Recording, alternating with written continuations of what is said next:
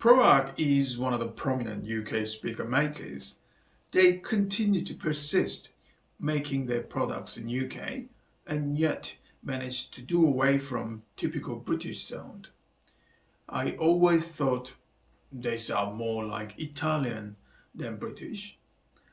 In my opinion, ProAc speakers tend to have the distinctive coloration that is favored to either violin or vocal, like Italian Sonus faber speakers. Now this DB3 is the least expensive model from ProAc's response range. There is strong resemblance between this DB3 and DB1. DB1 is, well, it practically is a successor of ProAc's legendary SC1. The critical visual difference between DB3 and DB1 is the woofer. DB1 has acrylic phase plug, whereas this DB3 has fabric dust cap. Underneath this small difference, ProAc claims DB3's woofer and crossover network are totally new design. Other than woofer difference, the only other visual difference between them is the bottom bit of the front baffle. DB1 has some sort of reinforcing wooden bar. I don't know what that does, but anyway. Whereas DB3 has none. Personally, I prefer DB3's more simple boxy design. Otherwise, both DB1 and DB3 are almost identical. The dimension and the weight are identical, and the back panel looks the same. It is hard to look good with such simple design because the build quality has to come with it. I must admit, the speaker has the look and the build, uh, which justifies the premium price tag. DB3 certainly looks good in every corner and feels quite sturdy. I particularly like its non-glossy uh, silk white finish too. It is like satin white finish of B&W's current 700 series. DB3 can go low.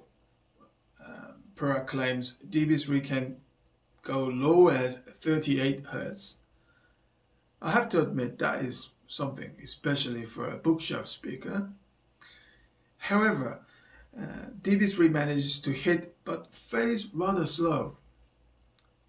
I would be happier with more rhythmic response than DB3.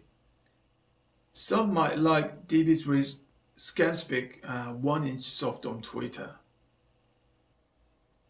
ProAc's forte is color and that distinctive presence.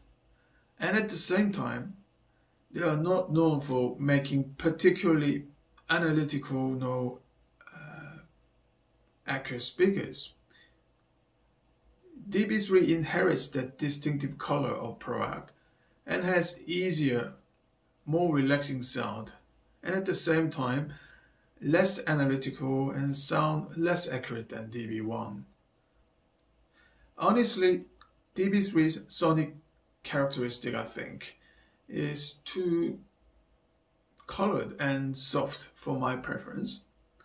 I'm afraid they somehow failed to capture the real face of the recording.